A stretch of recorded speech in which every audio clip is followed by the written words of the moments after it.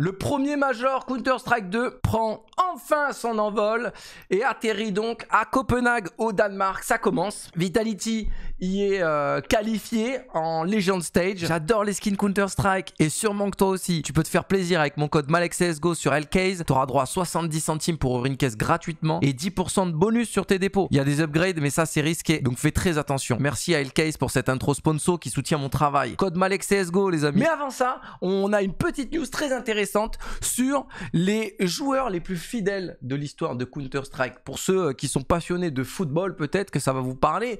Mais un Francesco Totti, tu vois, qui lâche pas la S Roma, ou un Del Piero qui lâche pas la Juve, ce genre d'épopée comme on aime. un Paul Scholes qui, qui quitte pas le banc de Manchester United. Eh bien, qui sont les joueurs les plus fidèles de l'histoire de CS On a, euh, on a une petite news sympa à regarder avec euh, le joueur le plus fidèle, c'est Rain. 8 ans 8 années de compétition au sein de FaZe. C'est absolument phénoménal. Et avant ça, pour ceux qui s'en rappellent, il était chez LGB, il me semble. Peut-être c'était G2 Kingwin et LGB juste avant. Tapsen chez Big, NIP avec Rez, qui est vraiment euh, l'ADN euh, suédois. Et avant, et avant ça, il était chez Epsilon. Voilà, c'est un joueur que j'ai pu côtoyer en bootcamp, en gaming house. Vraiment super bon gars. Furia, tiens. Je m'attendais pas à ce que euh, Yuri soit chez Furia depuis autant d'années. Liquid, Naf, ça, bon, on le sait, c'est un monument là-bas. Et regardez à la sixième place. À la sixième place, on a Apex. Déjà 5 ans chez Vitality. J'en reviens pas de voir autant de, de, de, de, temps qui s'est passé en fait. Je, je crois que je fais un blackout, les frères, entre l'avant-Covid et l'après-Covid. Je vous jure que ce que je vous dis, c'est sincère. Je ne m'attendais pas à ce que Apex, il ait 5 ans chez Vita. Et pour moi, ça correspond vraiment à ces années de Covid où entre guillemets on est sur l'online, j'ai pas de souvenir de foot CS avec des majors, des compétitions, vous voyez LAN, des moments où on aurait pu voir des hauts, des bas, des changements, des mercatos et ce genre de trucs et où c'était l'era un petit peu de l'online.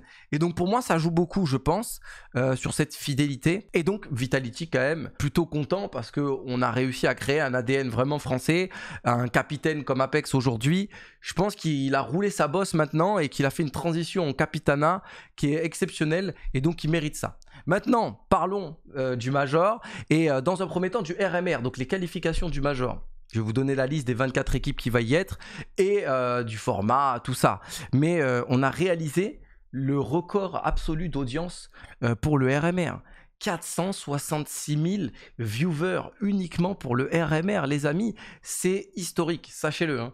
C'est la première fois qu'on réalise dans tous les RMR, RMR Europe, RMR NA, RMR asiatique, on a réalisé des statistiques euh, vraiment phénoménales. Hein. Plus de 250 000 viewers pour le euh, RMR NA. Donc rendez-vous compte que le Major CS2 s'annonce plutôt positif. On a également le marché des skins qui est en train de reprendre du poil de la bête je sais plus c'est quoi le market cap, mais on doit être euh, sur les 200, plus de 200 millions. C'est phénoménal. Le prix des skins est en train de remonter. Les pics de viewers au quotidien, on est à 1,5 million euh, de joueurs quotidiens sur Counter-Strike depuis une semaine. Ça y est, on a lancé la machine. Là, 2024, ça repart. Il y a le Major qui arrive. Et on n'est même pas à Shanghai, les amis. Hein. Sachez qu'il y a un deuxième Major cette année qui va avoir lieu à Shanghai, en Chine.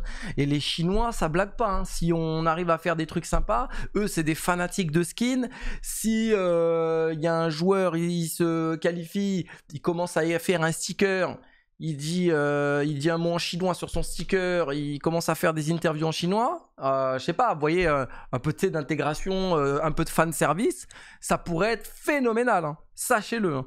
Donc, euh, ouais, 2024, CS2 va très très bien. Voici les 24 équipes qui sont qualifiées pour le Major. Donc, on a du Vita, on a du G2. Vraiment, c'est un grand Major, c'est un bon Major. Toutes les meilleures équipes s'y sont qualifiées. Les deux, trois petites surprises, elles viennent de Ecstatic, l'équipe danoise. Mais c'est une bonne nouvelle parce qu'ils sont danois au Danemark. Donc, ça va euh, fédérer quand même pas mal de, euh, eh ben de fans. Même si on aurait aimé peut-être un, Astralis. Voilà, je ne vous le cache pas.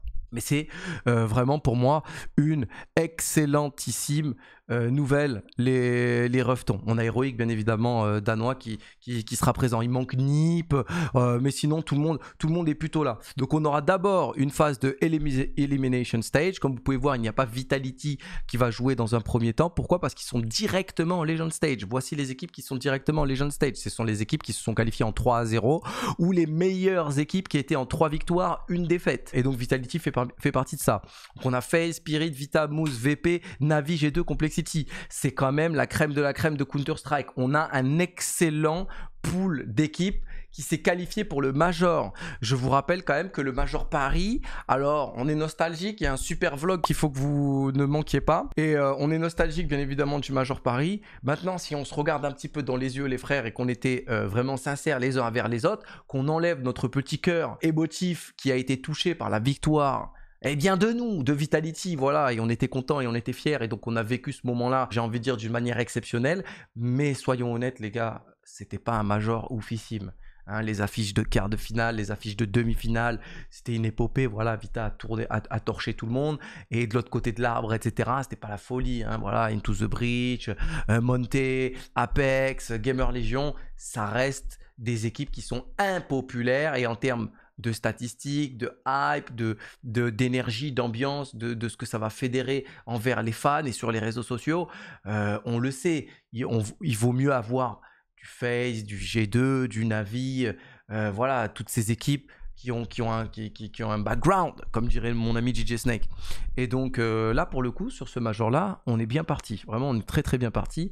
Voici donc la première phase euh, de cette Elimination Stage. Comme d'habitude, les équipes en 3 victoires se qualifient pour la suite. Les équipes en 3 défaites sont éliminées. Donc 3-0, t'es qualifié. 3-1, t'es qualifié. 3-2, t'es qualifié. les frères. Et il y aura donc de 4, 6, 8 équipes qui vont passer pour rejoindre les 8 équipes de la, prochaine euh, étape. Donc c'est Elimination Stage. Ensuite, c'est le. Euh, c'est comment ça s'appelle ça? Challenger Stage ou. Ouais, c'est ça, c'est Challenger Stage, un truc comme ça. Euh, le Elimination Stage, pardon. ils appellent ça le Elimination Stage parce que maintenant ils ont, ils ont changé les noms. Et ensuite, ce sera le Champion Stage, donc les playoffs. Donc c'est phase 1, phase 2 et ensuite playoff. Qui va sortir de ça? Bah l'équipe en forme, comment ne pas mettre Cloud9 Dans un premier temps, j'ai trouvé, euh, je la trouve euh, très très forte, mais je la trouve aussi très déséquilibrée cette équipe. Ah, ils sont capables du meilleur, ils sont capables du pire. Des fois ils font des bons, des mauvais résultats. Ce que j'aimerais, c'est quand même Eternal Fire qui continue son chemin. Hens, ça serait incroyable, mais euh, je pense que ça va montrer très vite ses limites. Euh, personnellement, mais il y a la place. Comme on peut le voir, vraiment, on a un elimination stage plutôt, euh, euh, plutôt ouvert où toutes les équipes se valent en termes de niveau. les équipes qui sont un peu au-dessus, je dirais Heroic, je dirais Cloud9, voilà, le reste, ça se tape tout le monde a plus ou moins le même niveau. Alors moi, j'aimerais quand même beaucoup qu'il y ait Furia Imperial pour le fan service, d'avoir des équipes brésiliennes de ce calibre-là, euh, avec du Fallen euh, qui participe encore une fois à un Major. C'est un des monuments de la scène euh, Counter-Strike. Côté Imperial, pareil, on a du, très solide. On a également Legacy avec Colzera qui s'est qualifié. Donc vraiment, les Brésiliens ont fait carton plein pendant le, le RMR Il manque malheureusement Team Liquid qui, qui a échoué avec, euh, avec Twist et Kadian. Et donc, pour le coup, c'est quand même très ouvert. C'est très, très ouvert. En Asie, on a euh, The Mongols qui euh, devrait aller tirer son épingle du jeu, je l'espère. L'Invision, les Chinois, c'est plutôt pas mal aussi d'aller drainer peut-être des statistiques asiatiques et de faire plaisir bah, aux fans et que une de ces deux équipes pourrait aller se qualifier dans la phase suivante. Moi, je trouve que le, jeu, pourrait le permettre. Hein. C'est très très ouvert. Nine Panda, Apex, euh, Hens, So, Ecstatic, Amcal, euh, c'est quand même des équipes que qui sont voilà dans le top 30 HLTV. Je pense c'est pour ça que j'ai des regrets moi avec 3D Max, c'est parce que euh, je pense qu'on aurait vraiment pu se qualifier. C'est des équipes de notre calibre. Ça dépend de la confiance, ça dépend du moment, de la forme surtout et de la pression. Et nous, euh, voilà, on a succombé un petit peu à ça. Euh, néanmoins, ça reste très ouvert. C'est des équipes qui ont plus ou moins le même niveau. C'est des équipes qui sont entre le top 20 et le top 40 HLTV.